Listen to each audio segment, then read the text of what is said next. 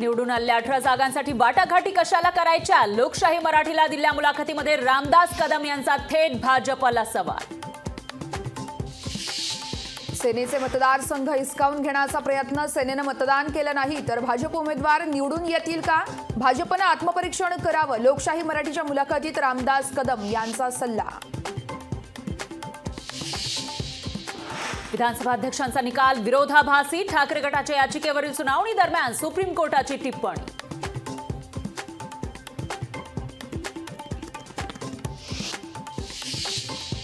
दहा राज्यातील साठ उमेदवारांच्या नावांवर काँग्रेसकडून शिक्कामोर्तब. राहुल गांधींना वायनाडमधून पुन्हा उमेदवारीचा निर्णय.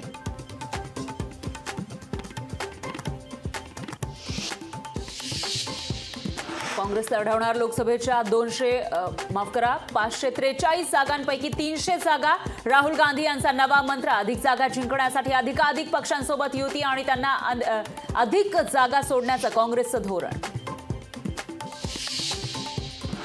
टाटा वीज कंपनीच्या वीज दरात चोवीस टक्क्यांनी वाढ. राज्य वीज नियामक आयोगाकडून दरवाढीस मंजुरी. एक एप्रिलपासून लागू होणार नवी दरवाढ.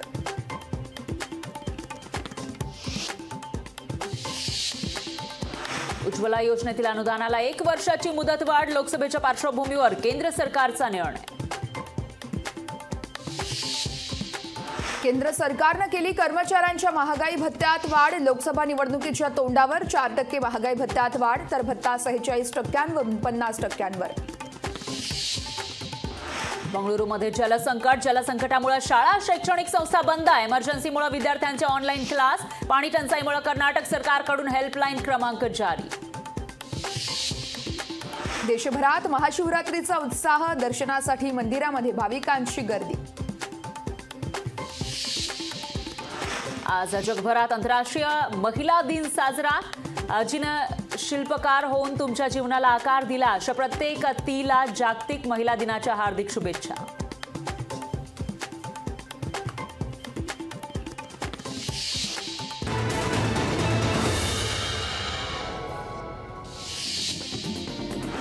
मी शिवसेनेच्या तिकिटावर निवडणूक लढवणार. खासदार बारणेंचं स्पष्टीकरण तर विरोधकांकडून गैरसमज पसरवण्याचं काम केलं जात आहे बारणेंचा आरोप. दिघ्यात शिंदे ठाकरे गटाची दिलजमाई दोन्ही गटाच्या पदाधिकाऱ्यांनी संयुक्तपणे केली ऐरोळी कलवा. या एलिव्हेटेड मार्गावरील भुयारी मार्गाचं उद्घाटन. तर दोन्ही गट एकत्र आल्यानं राजकीय चर्चांना उधाण.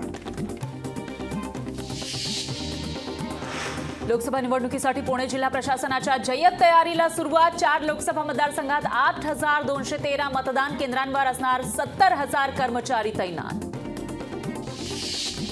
कोकणातील गावं सिडकोकडे सोपवण्याच्या निर्णयाचा फेरविचार करावा उद्योगमंत्री उदय सामंत यांची मागणी.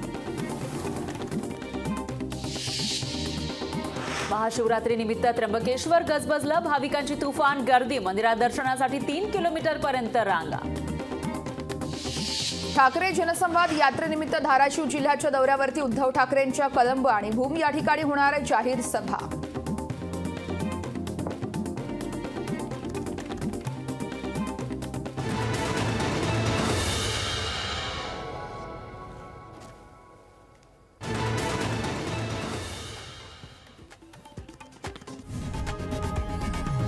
लोकशाही मराठी. ऐका पहा जागरूक रहा.